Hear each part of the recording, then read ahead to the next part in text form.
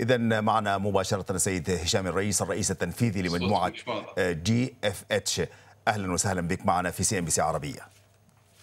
أهلا صباح الخير. الله يسعد أوقاتك. يعني الآن أنتم تتجهوا إلى إدراج جديد رابع في سوق أبو ظبي بعد البحرين الكويت دبي. يعني يبدو أن شهيتكم الاستثمارية تقول هل من مزيد؟ لماذا أبو ظبي؟ نعم. تحديدا وما هي القيمة المضافة لهذا الإدراج في هذه البورصة المهمة؟ نعم طبعا في البداية طبعا سوق أبو ظبي من أحد أهم الأسواق في الخليج. نشوف السعودية وأبو ظبي الأسواق اللي في الصدارة في الخليج إن شاء الله. معدل التقييمات الموجودة مكرر الربحية وال P/E ratios في هذه السوقين تحديدا كمية عالية. إحنا كشركه وكمؤسسة مالية بحرينية تربطنا علاقات جدا مهمة في أبو ظبي وعلاقة مملكة البحرين بالقيادة أيضا في أبو ظبي جدا مهمة. نحاول نعزز من هذه القصة ويكون لنا تواجد في سوق أبو ظبي. نعتقد من خلال الادراج في أبو ظبي بترفع قيمة القيمة السوقية والسيولة اللي موجودة. نفس ما تعرف الكريم اليوم أبو ظبي ال P/E ratio مالته تقريبا 23 مكرر وللبنوك 20 المكرر. يفوق بكثير عدد المكرر اللي يتم التداول فيه في الجي ف في الأسواق الأخرى. والسيوله أيضا في أبو ظبي خلال من بداية السنة تفوق قريبة من 500 مليون أو 450 مليون دولار تفوق بكثير الأسواق الأخرى أيضا. ونعتقد هذا الإدراج بيضيف كثير حق المساهمين المجموعه.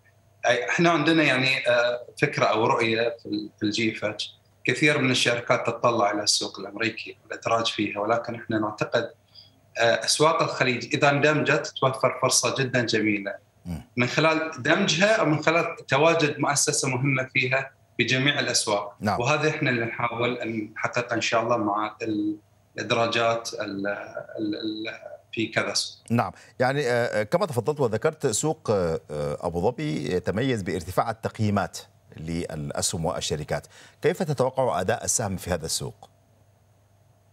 والله انت إحنا يعني متفائلين جدا بها بهذه نعتقد انه بيصير تفاعل ليس في سوق أبو ظبي تحديدا بروحه ولكن في الأسواق الأخرى آه كل سوق ولا آه طريقته ولا قراءته في اسعار التداول. عندنا طبعا دبي سوق جدا مهم آه وشريحة المتداولين فيه يعني mix صاير international أكثر. عندنا في سوق سوق الكويتي سوق يعني يقرأ الأرقام ويحلل الأسهم بطريقة مختلفة وتواجد عديد من الصناديق فيها. وكذلك كذلك أيضا سوق البحرين. أبو ظبي طبعا حاليا في الصدارة بالنسبة حق الزخم ال IPOs والإدراجات وال support الكبير اللي يجي من الحكومة. وهذا يعني يفتح لنا إحنا فرصة ليس فقط على تعظيم قيمة المساهمين ولكن أيضا لتعزيز تواجدنا في أبو ظبي ودخول مساهمين جدد قدراتنا على التسويق وجيفت إنه يكون معروف بشكل أكثر وناخذ حصه سوقية أيضا في سوق أبو ظبي إن شاء الله. نعم جيد. وأنتم أيضا في طريقكم إلى الرياض إلى السوق السعودي. متى سيكون ذلك سيد هشام؟ نعم إحنا الله يسلمك قدمنا في على السوق السعودي المتطلبات الإفصاحات. إحنا تكلمت أنا سابقا عن هالموضوع إن إحنا نخضع لنظام الأيوفي في لعرض البيانات المالية.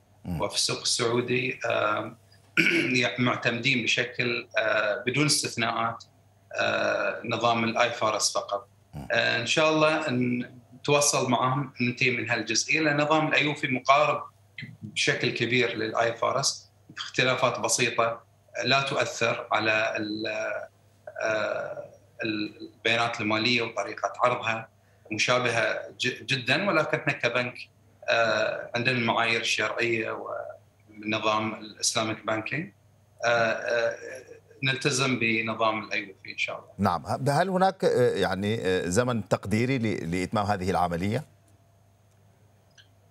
والله يعني إحنا نتطلع خلال العام ولكن هذه إحنا يعني ما بيعطي تواريخ يكون ما اكون أنا آه، أسوي مسليدنج حق الناس ولكن آه، هو أولوية بالنسبة لنا.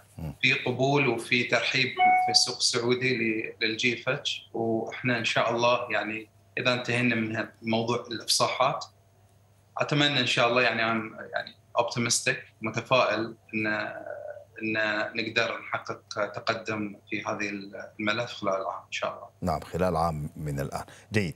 أه، دعنا نعرج على أه، أخبار شركتكم التي تتمدد في كثير من أرجاء العالم وأنتم تقتنصوا الفرص بشكل أو بآخر، إلى أي مدى تأثيرات الأجواء الحالية تؤثر عليكم أيضا؟ أه، يعني أنت تعلم أن الأزمة الروسية الأوكرانية تلقي بظلالها على المشهد العالمي، ولماذا أنتم مهتمون بالاستثمار في الولايات المتحدة الأمريكية والقطاع العقاري على وجه التحديد؟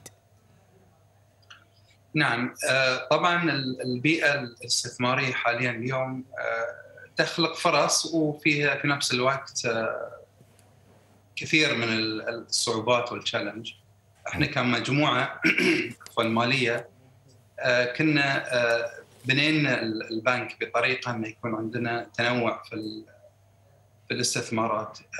يمكن كيف نستفيد من الفرص اللي حاليا صايرة خاصة مع الارتفاع في انترست ريت آه، عندنا المصرف التجاري الخليجي اللي انتهينا من الاستحواذ على ما يقرب كبنفيشال بنفت من من الأرباح تقارب تقريبا 96% وارتفاع ال interest rate آه، وال profit ينعكس على ربحية بشكل أكبر في التجاري هذه من الجانب الإيجابي. من الجانب الاستثماري آه، زيادة ال interest rate يقلل من من ال spread أو من ال ال الربحية اللي إحنا نسميه ال distribution خاصة في العقارات اللي في أمريكا اللي كان في آه، آه، المستثمرين في منطقة الخليج يحبون ينوعون استثماراتهم ويروحون سوق آه، آمن اللي هو سوق أمريكي سوق يعني ماتشور وفي عديد من